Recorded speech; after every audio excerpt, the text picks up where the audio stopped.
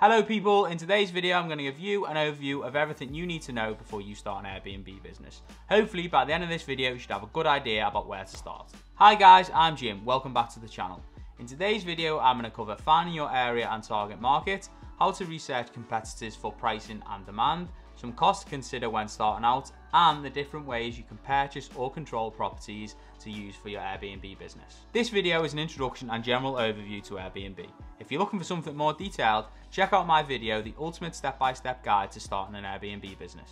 Most people have a good idea what Airbnb is now. It's the largest marketplace for vacation rentals and short-term stays. People will book anywhere from one month all the way up to six months. Now the growth for Airbnb has been truly incredible over the last few years. This offers property investors and entrepreneurs a unique opportunity to build massive businesses. The first consideration you want to make when starting an Airbnb business is where you're going to do it. Ideally, you want to be around a 40 minute drive away from your investment area. In case anything happens, you can always pop over and sort the situation out. You can run an Airbnb business remotely. However, I wouldn't suggest this for beginners. I'd suggest starting local wherever you are within 40 minutes, cutting your teeth and learning all the do's and don'ts. And then if you want to expand out geographically, you can do this down the line. So you want to jump on Google Maps and start looking at your local area to see what's in the vicinity. A good list of things to look for are the following. Building sites, city centres, tourist areas, big business slash industry in the area, sports slash music venues in the area, conference centres, race courses, hospitals, and universities. Now, all of these things are going to drive the demand in your area, and this is going to massively affect your target market, which we're going to talk about next. Another good reason why it's important to invest local to where you are is you have a lot of knowledge on that area. You'll know who all the big businesses and employers are, you know if there's any up and coming projects, and if it's a tourist area, you'll know when the high and low seasons are. And all this information is invaluable when it comes to starting an Airbnb business, so you need to exploit the knowledge you already have about your area. Next up, we're going to talk about the target market. Now the target market and the area you choose to invest in, these two are normally very interlinked. You need to let the area guide your decision on the target market. For example, you don't want a romantic Airbnb in the middle of a building site. It's just not going to work. Pretty much everyone stays in Airbnbs these days. However, it is helpful if you tailor your unit towards your ideal target market. Now you're not going to get this target market to 100% of the time, but if you've got a vision in your own mind of who's going to be coming to your property, you can better tailor the setup of the unit towards this person. So what different groups do we have in our target market? Well, the first one might be corporate slash business professionals. These types of guests might stay with you from a Monday to a Friday while they're working away in a different city or area. These type of guests might expect a higher quality when it comes to the accommodation, as it's probably a business expense for them so they won't be paying for it. A good idea for this might be to ring local businesses in your area and see what sort of allowances they give to their employees. Next up, you have the contractor market. These type of guests might be staying with you for a 10 week block while they're working on a project. It might be installing a new shop or doing some roadworks. Normally, these types of guests are driven by price per night per person, so it might be advantageous for you to give them a discount if they're going to stay with you for a long time. Next up, you might have leisure guests. This could be couples or families getting away for the week or the weekend. A nice touch for these type of guests might be leaving some chocolates upon arrival. As you can see, these three different types of groups are completely different. Their expectations would be different on price and in terms of quality of the product. So it's really important that you understand which one of these you're trying to target and you can tailor the setup of your unit around this target market. Next up, you want to jump on Airbnb and research your competitors. You want to set a radius for the target market you're aiming for and see who is operating within that vicinity. Vital you understand all the people who are operating within your past. You need to see who's doing good and who's doing not so good. So it's definitely worth reading the reviews on all of these properties. Fingers crossed you should get a type of feel for the guest the other host is trying to target. And it shouldn't be a million miles away from who you're trying to target if you're in the same area. It's worth spending a bit of time researching these competitors and checking how much they're charging per night, they charge more on the weekend and to see what their demand is like so you can see their calendar to see how booked up they are. If they have no bookings and you've checked all the reviews and there's nothing obvious wrong with the property, maybe the demand isn't there in that area. However, you can also pay for a website called AirDNA, which will spit up a load of data and information about your investment area, including price per night, occupancy rates, and general demands throughout the year. It's 100% worth doing this before you set your unit up because you want to make sure that it's going to be a viable business before you even start it. So next up, we're going to talk about how you can either purchase or control properties in order to repurpose them for Airbnb. Firstly, you could purchase the property with cash, or you could use a mortgage.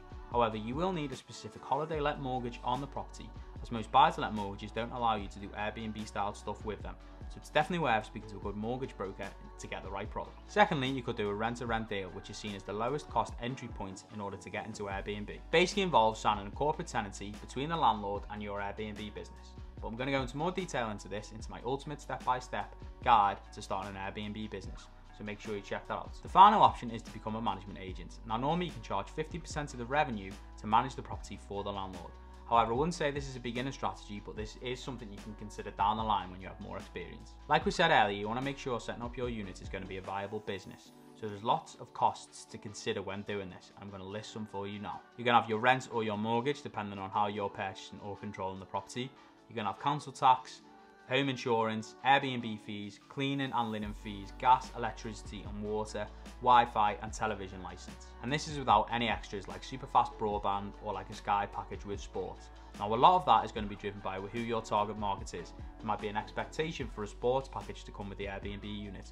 So you'll probably find this out when you do your research into your area and target market. But this is another cost that could be added on top. After looking at your competitors and on AirDNA, you should have an idea of how much to charge per night and you want to break even at around 50% occupancy in the month. So this means if you're full for half the month, you cover all of your costs. But ideally, you want to aim for around 75% occupancy to make a decent profit. This will depend on your location, target market, and seasonality.